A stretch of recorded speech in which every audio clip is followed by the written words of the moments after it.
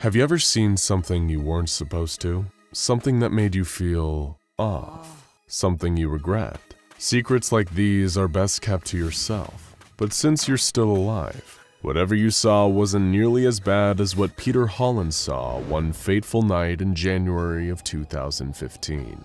Peter was an unremarkable man, an office worker, slaving away at the daily grind. And like a lot of people, Peter enjoyed nothing more than coming home after a long, hard day, kicking back and watching some TV. It was this innocent activity that led to Peter's horrifying brush with SCP-5049, altering the course of his otherwise average life forever. The event started at around 10.05 p.m. Peter was channel surfing, glued to the couch in his sparsely furnished apartment. Commercials, commercials, commercials as far as Peter's tired eyes could see. He paused for a moment to watch the end of an ad for a car he could never hope to afford on his salary. But something stopped him from changing the channel again. The next ad had begun, and it was playing a strange, scratchy jingle that gave Peter an odd sense of unease. But even stranger than that was the text on screen. Demon Dan's Discount Homunculus Depot in baby blue bubble lettering. He forced a smile. This had to be some weird comedy skit or viral marketing campaign, or maybe it was something he drank. But no, this was a real commercial, and things were about to get even weirder. The Peppy logo faded to a concerning sight. A tall humanoid figure dressed like a used car salesman, but one that definitely wasn't human. His skin was dark green and covered in patches of thick fur.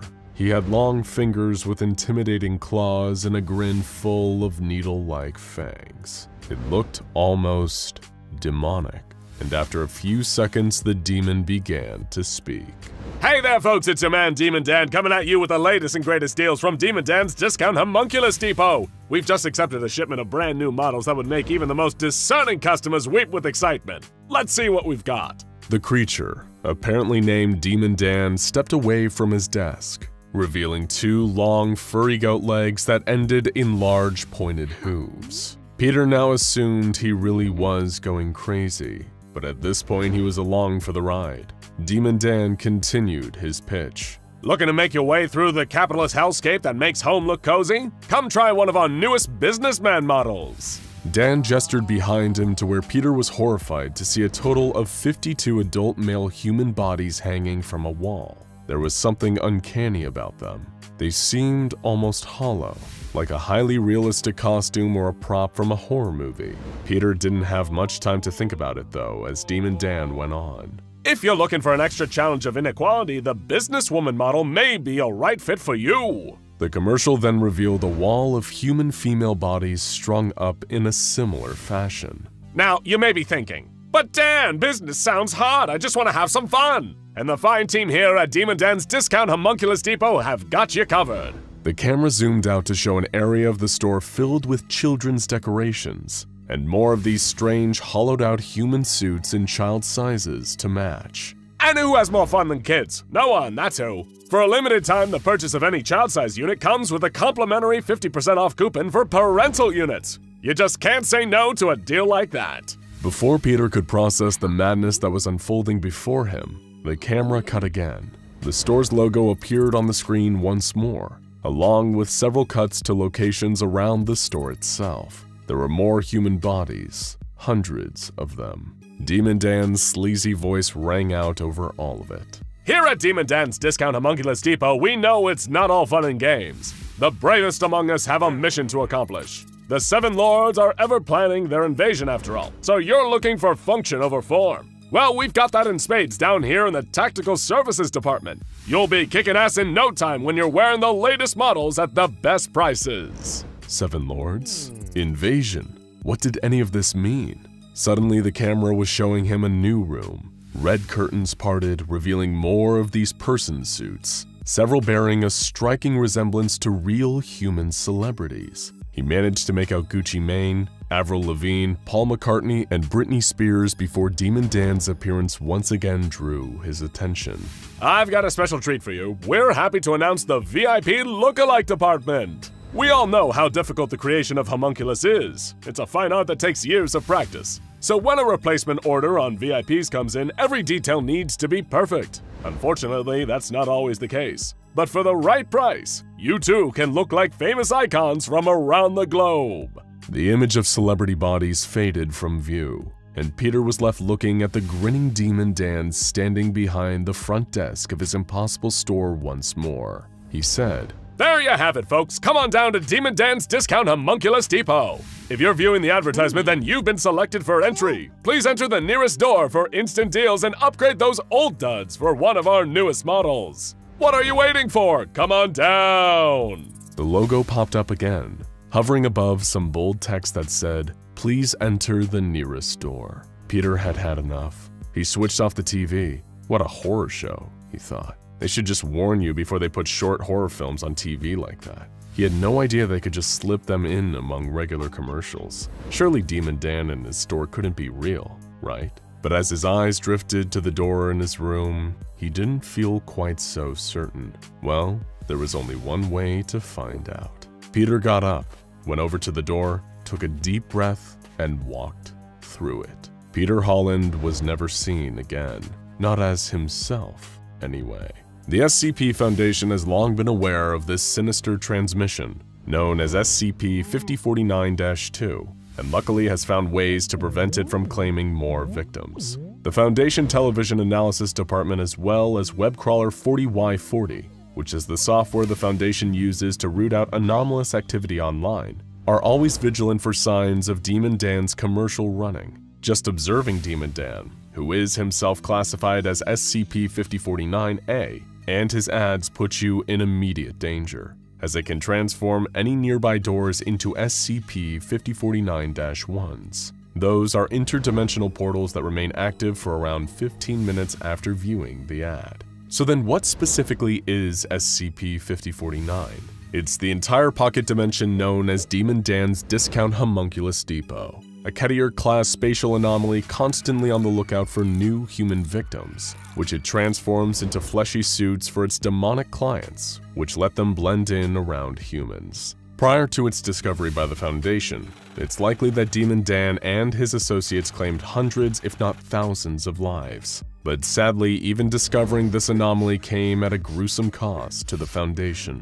On February 16, 2020, the ad played on Safe Storage Warehouse 13's break room television. At the time of the broadcast, four Foundation personnel were present, including security agent William Birkin. Worrying that this was a potential security threat, Agent Birkin investigated the door to a nearby closet. The second he opened it, he was transformed to the storefront of Demon Dan's Discount Homunculus Depot. He saw Demon Dan himself standing at the corner, while four smaller reptilian imps fought over a small flesh suit. Demon Dan scolded them, before turning his attention to Agent Birkin. Tis, tis, tis, you aren't supposed to be here, little man. How naughty. I'm gonna have to have a word with marketing. Once I'm through with you. Agent Birkin, fearing for his safety, drew his weapon and shot Demon Dan three times. The creature dematerialized, before appearing right next to Agent Birkin and disarming him with a swift chop. The unfortunate security agent was then grabbed by the considerably larger Demon Dan and thrown over Dan's shoulder. We know all of this because Agent Birkin's standard issue Foundation body camera recorded the whole terrifying ordeal, even as Demon Dan dragged the helpless Birkin back into the twisted workshop behind the store. There, Birkin saw what would soon be his own fate right before his eyes. Dan's minions converting human bodies into fleshy suits for their demon clientele, and this unfortunate security officer was next. Dan gave him over to a pair of large sheep-like demons, and told them to drain, skin, and declaw him Birkin's video feed finally cut as the demons pulled out their rusty tools and began to work on him.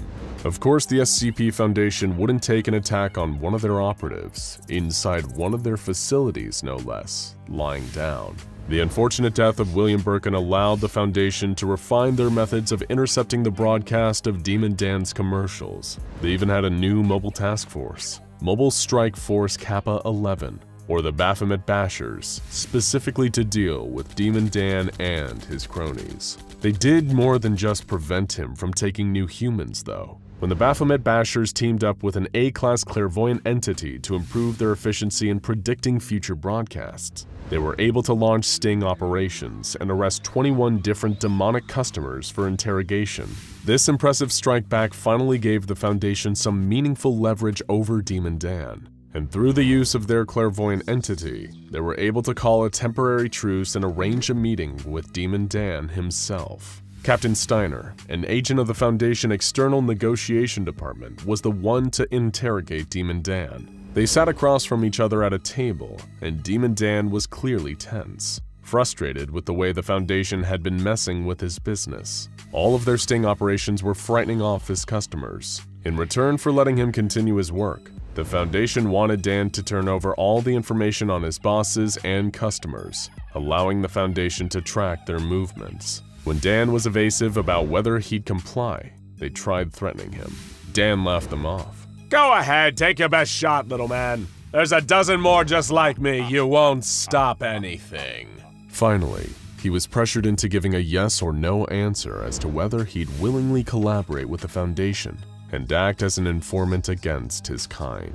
When Demon Dan hinted that he may be willing to comply, he began to make a horrifying gurgling noise and gripped his head in pain. He began speaking in Latin in a voice that wasn't his own, as though the seven demon lords he served were speaking through him. They said, You are a fool, jailer, to think a pathetic morsel such as this could aid you against us. I have allowed you to toil in your own delusions for far too long. You may have taken advantage of Asmodeus all those years ago, but you stop nothing. You hinder nothing. You jail and barter to no avail. Your time is coming.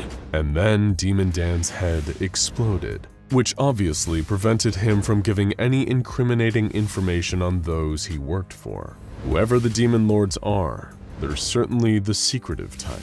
You may think that this is the end of Demon Dan's Discount Homunculus Depot and of SCP-5049, but soon another ad ran. It advertised the same products and services out of the same store. The only difference was that this time, a different entity was starring in it. Now go check out SCP-2662 Cthulhu and SCP-4000 Taboo for more strange entities from the files of the SCP Foundation.